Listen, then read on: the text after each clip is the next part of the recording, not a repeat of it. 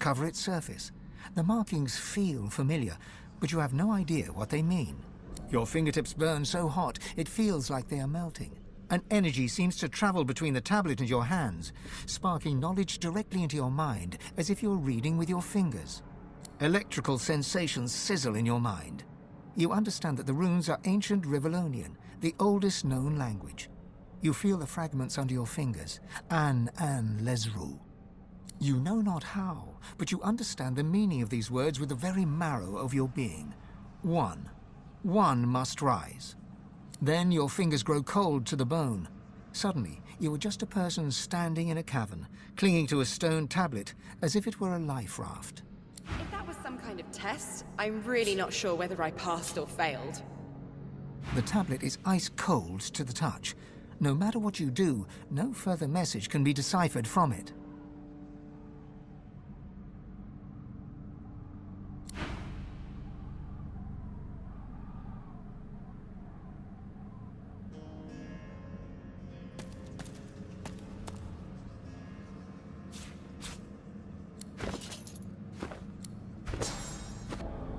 The unusual tablet is marked on all sides with runic inscriptions that look like they were hacked into indecipherability with a chisel or similar instrument.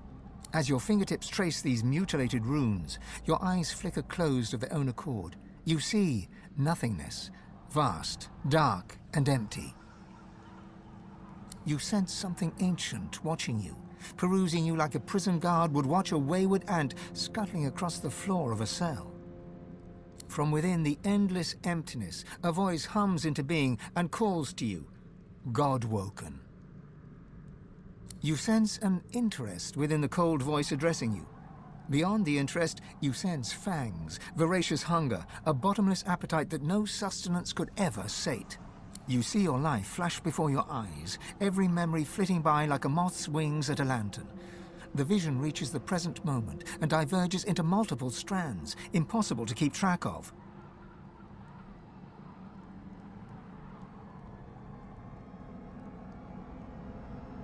Your brain aches with the effort of trying to keep up with the intelligence as it sifts through your every potential future. You see salvation and destruction and every shade of existence in between. And all of a sudden, it's over. Blackness rises once more, just as it was at the start. Eternal darkness and you. An electric feeling pulses in your fingertips, and a force field of some kind pushes you away from the tablet.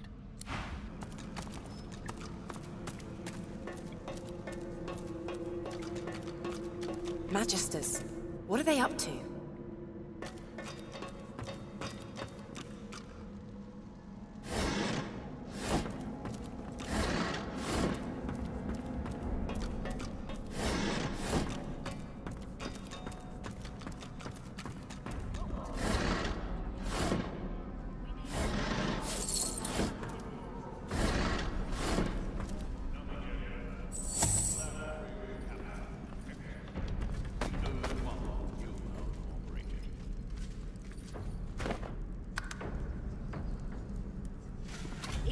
And The Magister looks you up and down with utter dispassion.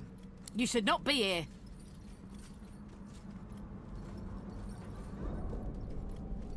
The Magister slowly shakes her head. To her, that writ might as well be your death warrant. Intruder! You shouldn't have come here, scum. Die!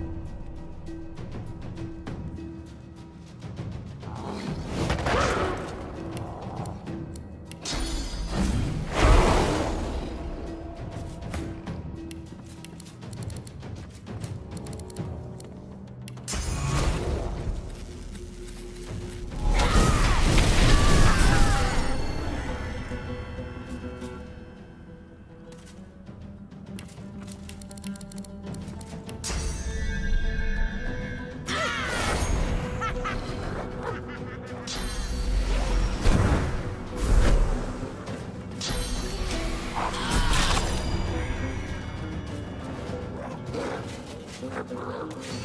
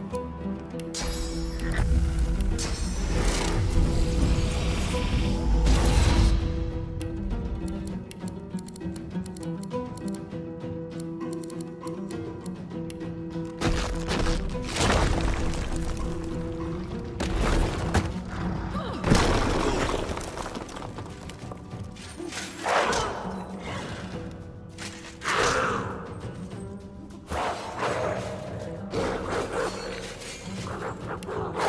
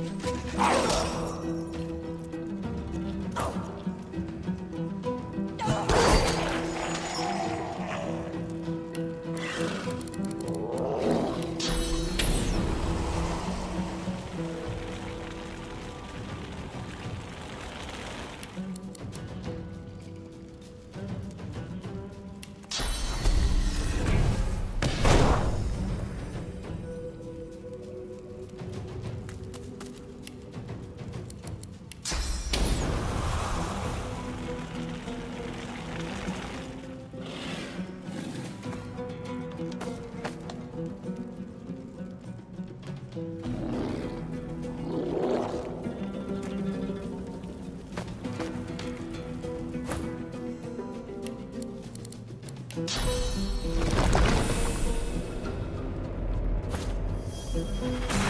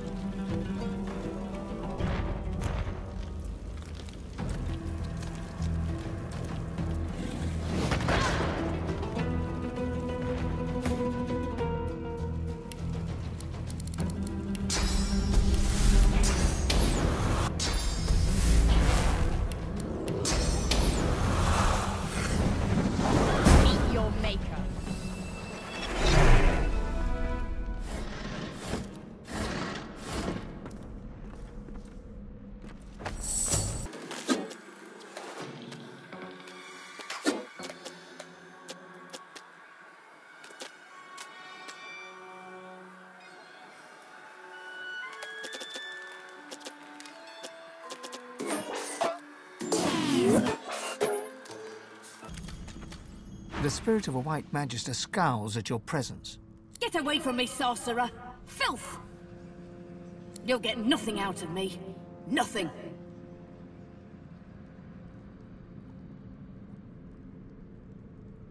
What? No, wait. I'll tell you. We had orders to bring down the wall.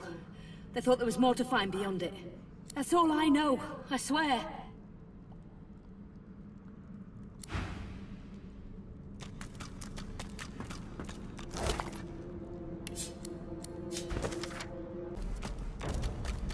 Oil barrels? Not a careful excavation, it seems.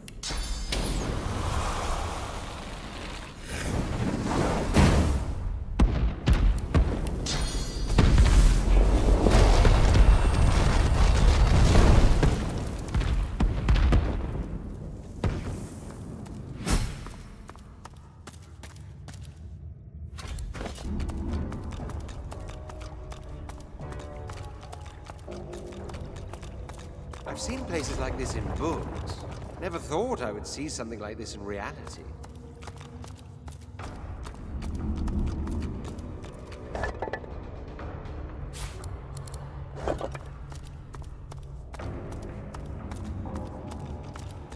This, this is the archaeological discovery of a lifetime.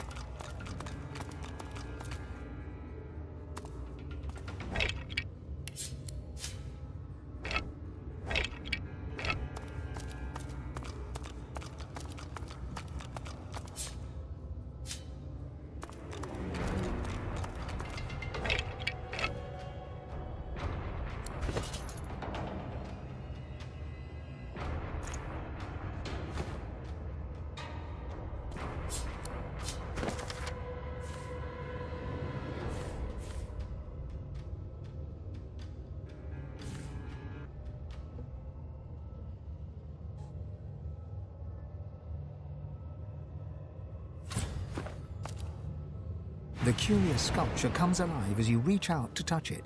It thrums with power and throws flickering dancing shadows against the walls. The carving is covered in strange glyphs that feel oddly familiar. Trying to read the... Your mind swims, and you read, Our first lords babes with power glowed, our seconds born in blood that flowed. Our thirds young to the wind return, our fourths to glowing flames adjourn.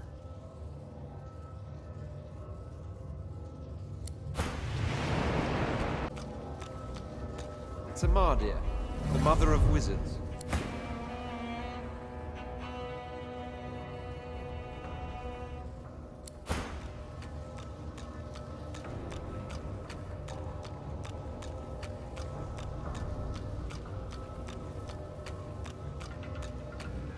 Tir-Cendelius, poet and patron god of the elves.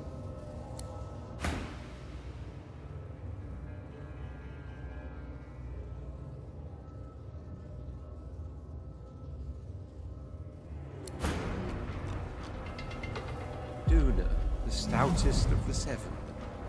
No wonder the dwarves pray to him.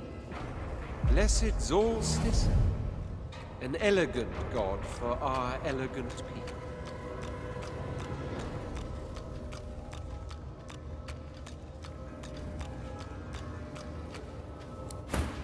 Our Fifth Lord's cubs with minds were blessed.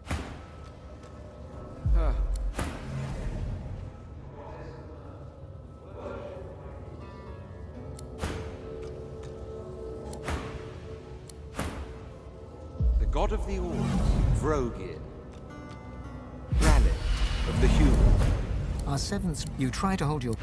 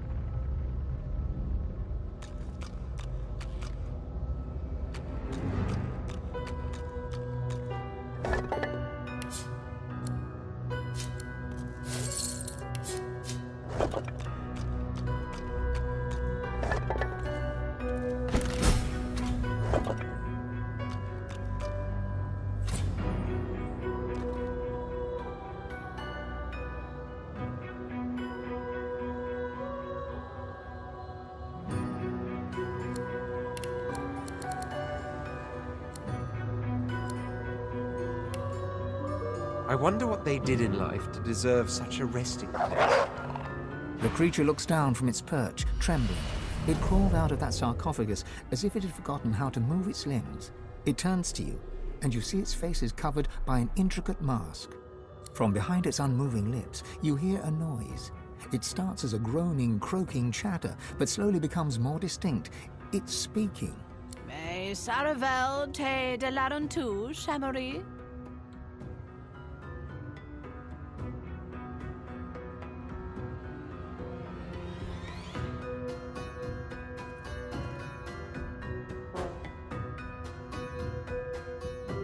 Stream of noise cuts off abruptly. After a moment, you hear a jolting, lurching voice. It wears the face of Zorl-Stissa, but speaks the tongue of beasts. How cruel. I suspected the Seven Lords won the war after they locked me here, but seeing their faces on dumb creatures, a depressing confirmation.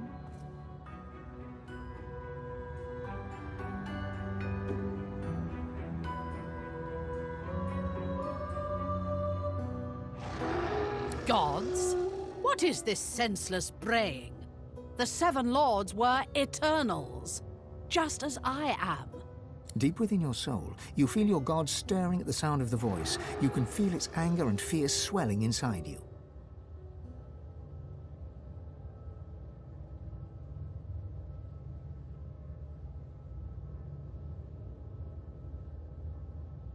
The creature leans forward to get a better look at you, clucking and tutting under her breath. It seems to be a simple form at its core, a source vat.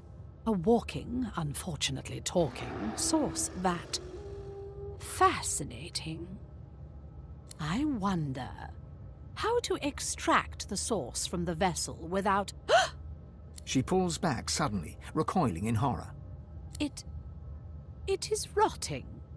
Almost imperceptibly, but it decays before my eyes. It must have no more than a century or two left. The god within you reacts. Her emotions a cocktail of fury and fear. You hear her voice, demanding that you give her control, demanding your body obey her will. An Eternal does not answer questions from whatever creatures happen to lumber into view. Especially when there is so much to be learned about their source. What happens to it, I wonder? Does it lie in whatever ditch it falls in, as its body decays? Or. Ah, no, of course. It is harvested. The god thrashes against your control. You can feel it hissing that this creature is dangerous, that it cannot be trusted. To have had the technology of the Eternals and made this. How crude. Although effective in its own way. Poor creature. Created for a sole purpose and yet so ignorant of its function. It is a tool to collect source until it is ready to be collected, most likely by its creator. And given that face, I can well imagine who your creator may be. What a lazy way to feed one's power and one's ego.